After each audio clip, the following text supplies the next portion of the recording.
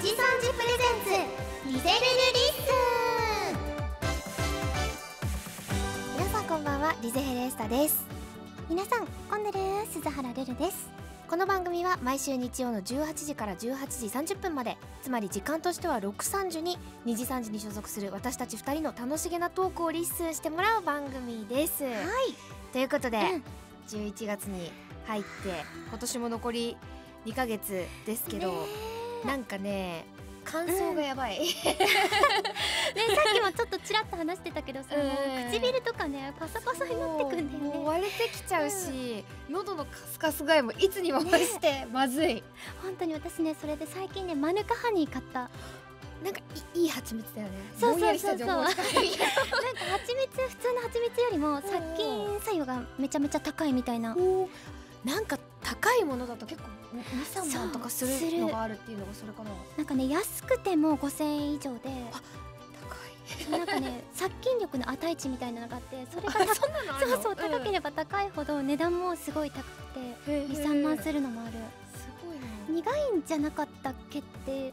でもねうん。味はねザラザラしてる感じ。蜂蜜はねうん。すごいザラザラにした感じでうんうん。でとろみがない感じあんまり。蜂蜜だけどあ結構ね固形じゃないんだけどすくってもこうスプーンですくって逆さまにしても落ちないぐらい。結構だから粘度が高いそうそう粘度が高くて。味はね甘いし普通に蜂蜜。ものによるのかもねなんかね確か、あの会社のスタジオに昔デビス様たちが買った。めちゃくちゃ高い5万とかのなんかそう言ってた。買ったやつが置いてあって一鍋何円とかでお金を取ろうとしてたみたいな なんかマヌカハニービジネスみたいなのがなんか始まってた気がするんだけど私無断で舐めたことあるけど思えばそれマヌカハニーかまたレビューしてほしい。次の種ちょっと類に行一口ないんでマヌカハニー営業私もしようかな。そっちのビジネス行くんだ。ありでもありです。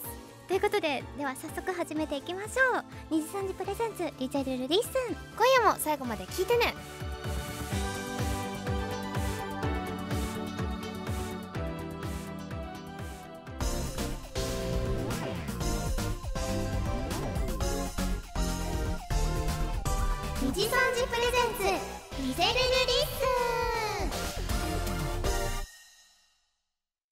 してリゼヘレスタです。鈴原ルルです。ということでねもう一個ちょっと我々の近況として、うん。レバガチャ大パンに出させていただきましたと、はい。イエーイ。かねてより出たがってたみんな拍手してくれる。嬉しい。ね。どうだった？番組見てみて、なんか感想とかいやねなんかさテロップとかさ、うん。あのやっぱ番組を作ってるくださってる方がね、うん。こう構成とか考えてるのもあって、ね結構本格ね。めちゃめちゃ面白くなってだから あこんな私たちなんか様になってると思って、それはねめっちゃある。なんかうん。あのー撮ってた時は別にそんな特段面白いこと言ってないシーンだったよなと思いながら見てたんですけど、セリフ字幕とか間の取り方とか、ね。BGM 変えてもらうだけでなんかめちゃくちゃいいツッコミしたみたいな演出になってたりしてね。リゼ様のさツッコミがさ 普段からも結構ツッコミグイグイ来てくれるけど、うん。それがさテロップに出た瞬間すごいなと。めちゃめちゃなんかいいツッコミをに見えるよねあの編集。あれすごいかっこよかった、ね面白かったな、うん。ナレーションのセリーさんもすごくね面白いしね人をかわす能力見せてますね。あそうそうだよね。ここでもね、うん何度か話題になってた。そうだ。ハンター試験のやつかな。そうそうでそうそう。そうそうなんか被ってたんだよねかぶってて笑っちゃったんですけど、真相はそれです。あでもねレバガチャを見てる最中に気づいてくださってる方いましたよ。多分あリゼルルで話してたのこれだったんだなみたいなのを、皆さんに動き付きで見せることができて 私は大満足ですけど、いやね本当にすごかったんだよね。あのどんだけディフェンス頑張ってもうん。かわされるっていう。最終的にはねそれはディフェンスっていうかもう向かってきてるじゃんっていうのが。そうだね。もう普通の街中歩いてたらあんな人たちはいないだろうっていうくらいだったんだけど。かわせてた、ね本当に楽しかった。またなんかああいう 3D 生かしたこともできたら良いねって思う感じかな、くらいかな、じゃあこれれくらいでリスナーさんの皆から届いたはい。メールを紹介していこうと思います、了解。うん。じゃあえっとラジオネーム三つ目さんからいただきました。リゼ様デルちゃんコンドレスター。こんなでしただお二人のトークを聞いていると30分があっという間に過ぎて時間感覚がコントロールされていくようです、うん。それにつなげてなのですがお二うん。うん人が時間を忘れるほど没頭してしまうことは何かありますか？ルルちゃんはやはりゲームかなと思いますが時間管理がとてもしっかりしていそうなリゼ様にそのようなことがあるのか気になります。うん。私も気になるこれね、うん。私ある。ある？季節柄もそうなんだけど、うんうん。読書あうん私ねすごいっぽいね確かに。漫画活字問わず、あのー霧のあこの話してないっけな今まで。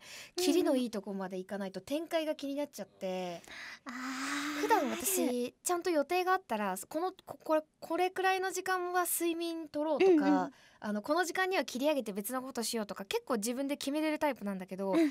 読書だけはマジでそれが効かなくて。あの出るギリギリとか、もうそれこそ学校ある時とかでも1分前とかまでいやまだあと30秒は読めるな。あと3秒とかってレベルでもう止まらなくなるタイプ。あでも嬉しいな。ディゼ様もそういうことあるんだ。あるあるある。私もね結構しっかりしてるイメージがあったから、もううん読書はもう30分ですみたいな。ダメだね読書に関しては。気になっちゃって。そうなるよねうん。うんうん。何か熱中することはあるな読書か。イメージ通り。私はもうゲームばっかり。うん。全体的に私時間管理が本当に下手くそで なんか好きなことやっちゃうとずっとやっちゃう、うんでも読書もそうだしうんうん。漫画とかでももう読んだら止まんなくて ずっと読んじゃう。いやもう本当に。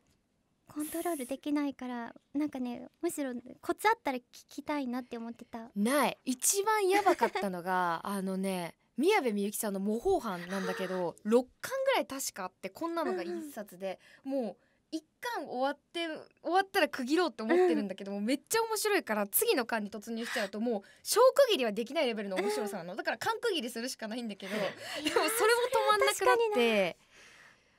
なんか多分ね、うん。あの2日ぐらい寝てない日とかがあったと思うそれを読むために。いやでもわかるの私も宮部みゆきさんのやつなんか小説読んでたことあって、あれもう本当に私も2日間ぐらいかけて全部一気に読んだりして。だよね、うん。あるよねそういうこと。皆さんも気をつけてください読書は。まあ気をつけてください。ということでじゃあリゼ様次のお願いします。えーペンネームおつぞうさん。リゼ様鈴原さん。コンルレースター。うん最近常にマスクをしているせいか肌がザリザリになったためあパックというものを初めて使っています。しかし朝にパックをするような時間がないので朝用のパックを夜に使うという暴挙を繰り返しています。リゼ様はものすごく朝に弱く、えー鈴原さんに弱い時間帯は存在しなかったように思うのですがお二人は朝の準備にどのくらい時間をかけていますかとーなるほど。よく見てくださっていて。ね 覚えてくださってて。すごい。話したね一回ね。うんね。そっか朝の時間ねまあでもさマスク問題確かにあるよね。ある。確かうん。にカッサカサになる、そうなんだよね。マスクのなんだろう落ちちゃうしね。こそう。まあ地道におつぞうさんみたいにパックしていただこうかないだろうね。ね意識高いよね。でもパック私もすることあるけど毎日しないもん。うーんそうねあの私お化粧を落とした後にすぐにお風呂に入って保湿なりなんなりできる時は使わないんだけど、うんお化粧落としてからおお風呂入るまで開くって時はパックする。パックになんとかしてもらう。そうなん私もそもそも絶対お風呂の時にうん。もう落としちゃうそうなんだ。私うん。なんか一刻も早く落とさないと肌に悪い気がすると思ってもうすぐ洗面所行っちゃういや偉いな。私しない あのねでもあれをあのうん。その直後に宅配便とか例えばバイバイって別れた友達が「あうんうん。ごめん忘れ物した」とかすると悲惨だよ。も ういや落ちとるみたいな。確かにねそういうリスクはあるよね。リスクはある。とても朝でも気になるのは準備どれくらいかかる？私めちゃめちゃかかるっていうのもなんかねあの準備に時間がかかるっていうより朝うん。お布団から出るまでにまず時間かかって、お意外だ。そうでお布団からまず出たらその後もぼーっとする時間が必要なの。あ覚醒にかかる時間ね。そうそうそう。10分ぐらいなんか無心なこうぼーっとしてる時間があってでそっからなんか準備したりするんだよね。なるほどね。そうそう。私は起きれないからねちょっと見せたい。スマホのアラームがね、えアラーム？アラアラーム使う？朝起きるとき私一応かけてるけどアラームかけた10分前には必ず目覚めるみたいな。そう自めっちゃ羨動なの5ましい。見て私のこのアラームの小刻みっぷり分ごと10分ごとみたいな、ああの5分ごととか。待ってあるあるあるあるあるびっくりした多分同じ仕様なはずなのに。同じ仕様使ってる iPhone だもんね。5つぐらいの、うん。あの目覚ましなんマジで？私めちゃくちゃスクロールあるよ、さその10分ごとにさかけてもさ、うん。結局寝てるわけだからさ寝てる。止めてうん、二度寝するってことでしょ？そういうことそういうこと。わかんなくない時間？はわかる。わかるの？わかるけど10度寝ぐらいはしてるよねこれだから計算的に。10度寝するとさ10分ごとだとさ 何時間2前から分ごととかもあるよ。あの近くなってくると。でもそうじゃないと覚醒できないんだそっよなかえー、イメージと違ったかも。うんうん例えばうん。朝10時に家から30分ぐらいかかる場所に集合だと何時に起きる、朝10時にうん。30分かかるってことは9時半に家を出なきゃいけないってことだね。そうだね。うん。ってなると9時ラストがもうそこを超えたら死ぬっていうラインが9時で理想は8時45分で アラームは8時からかかり始める細か で8時から8時半までラーム10分前だけど、8時半から45分までは2分前のアラームになるかな。いやそれも考えてるだけで私ダメだもん。本当、うん、なんか私多分ねえー、だとうん。7時には絶対起きてると思う。おーすごい。寝れるもんその時間。いやでも起きて多分こう、うん。ぼーっと 回転が始まるまでのエンジン温まる時間が必要なんだよね必要その間に YouTube とか流して、うんぼーっとして過ごして、まあ、ご飯食べたりとか、うんまあ、ゆっくり着替えたり。紅茶飲んだり温かいもの飲んだりとかそう私もね前日の夜まではその気分でいるんだけど。あだから一応アラームのセットはねその あの9時そのアラームのセットをするからそっちになっちゃうんじゃない違うの。あの8時から8時半までのアラームしかセットされてないの前日の時点では。あそうなんだ。30分から45分のアラームが2分前のアラームが設定されるのは当日8時から8時半の間なの。そういうことなんだ10分前に起きてる間にこれは無理だ起きれない45分までっていうあ思うからなるそうあの2度寝3度寝起きながら覚醒を繰り返しながらそこのアラームを設定してるわけあそうだったんだ。私そうそう違う認識してた。前日にかけてるのかと思った。かかってるアラームは8時から8時半までの3回。